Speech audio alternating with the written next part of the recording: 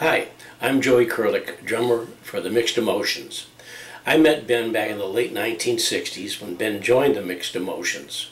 Way more than my 15 minutes of fame throughout my lifetime, which somehow keeps on going. I was asked to put together a video for the uh, 20th anniversary of Ben's passing, which I'm proud to do. Uh, I'd like to share some of the wonderful times Ben and I had, along with some other items that all relate to Ben and his way too short life.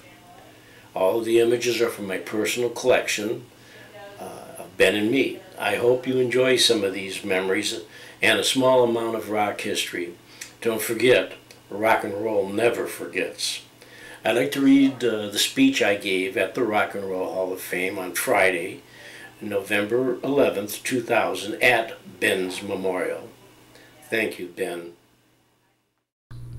during my uh, speech at the Rock and Roll Hall of Fame, there'll be some images uh, such as the wristband and badge IDs and programs and uh, a special DVD we're given and the final clip from Ben's uh, memorial in People magazine.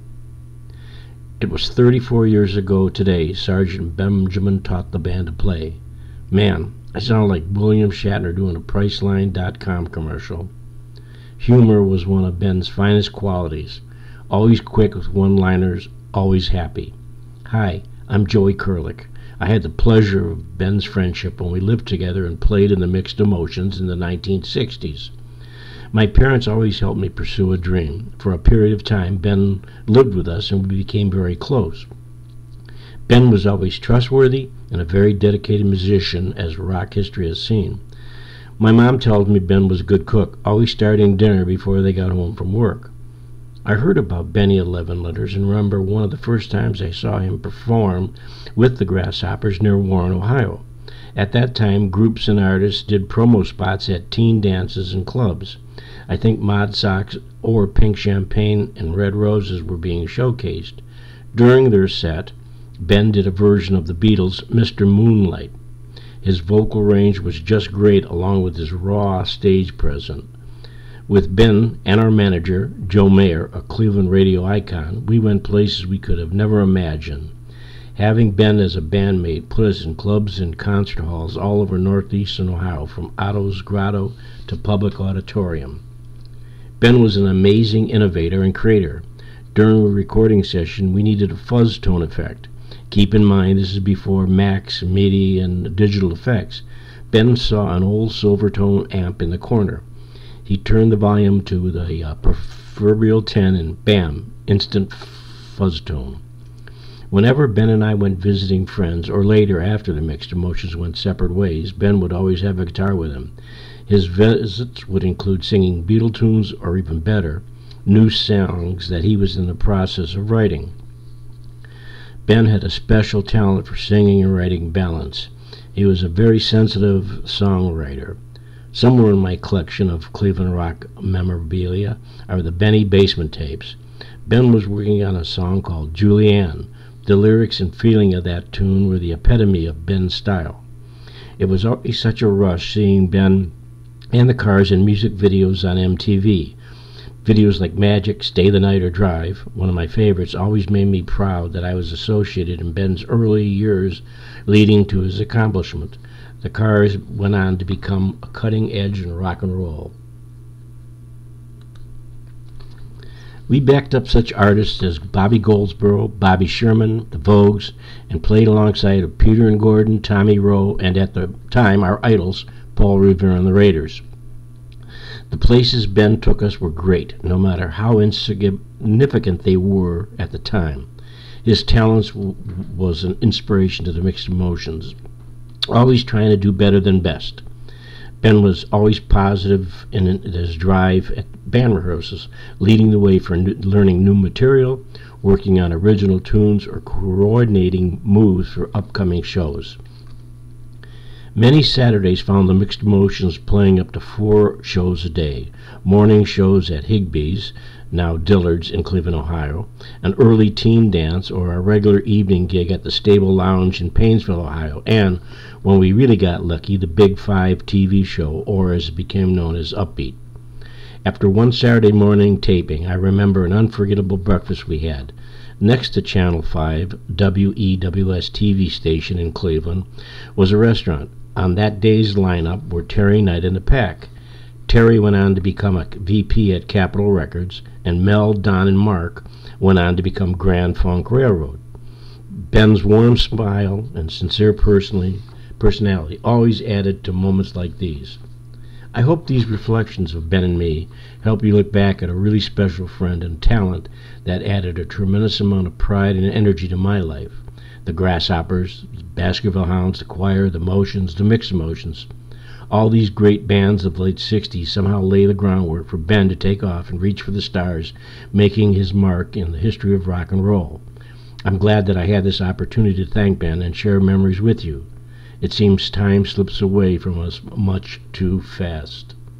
Some of the images that you viewed during the uh, speech from the Rock and Roll Hall of Fame for Ben's memorial also had uh, original uh, MTV, the first Music Awards t shirts, front and back. I had the um, Music Awards uh, program uh, one of the pages showed the uh, video clip from You Might Think, and then of course there was the uh, finals that uh, uh, from the music awards where the Cars had a position and hopefully won, which I don't remember.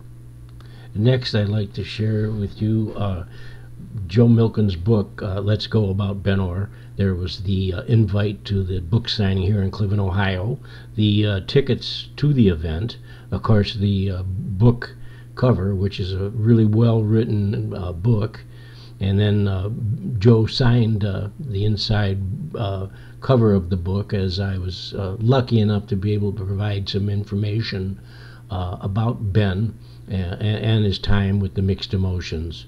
there also is an image of the 1967 Union uh, book that uh, uh, we were all members of Local 4 back then. And ironically, the pages from the union uh, document uh, shows Ben and me on the same pages as uh, percussion drummers. I found that fascinating uh, when I was getting all this stuff together.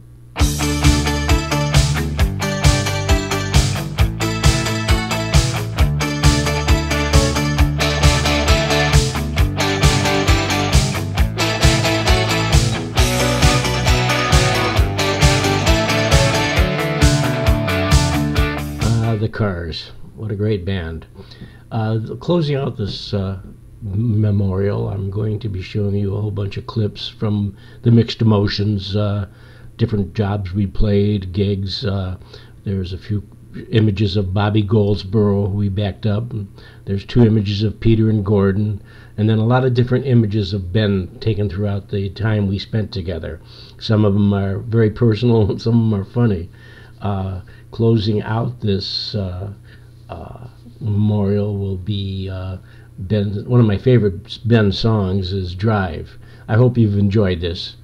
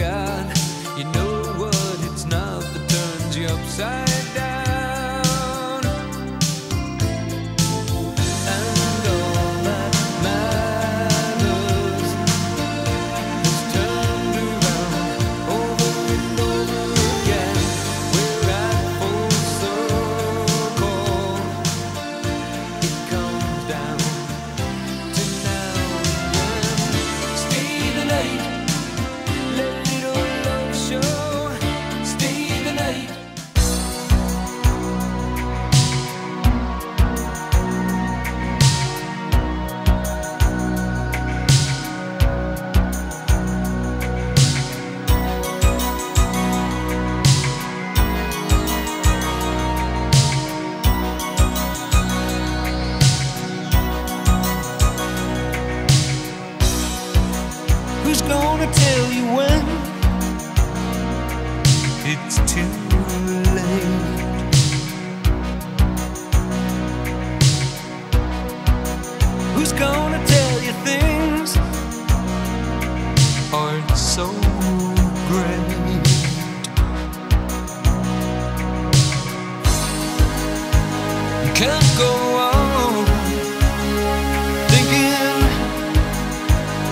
nothing's wrong.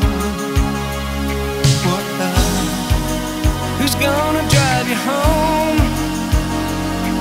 tonight?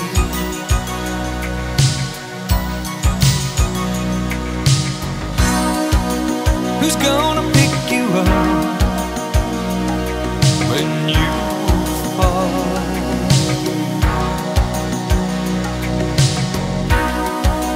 Who's gonna hang?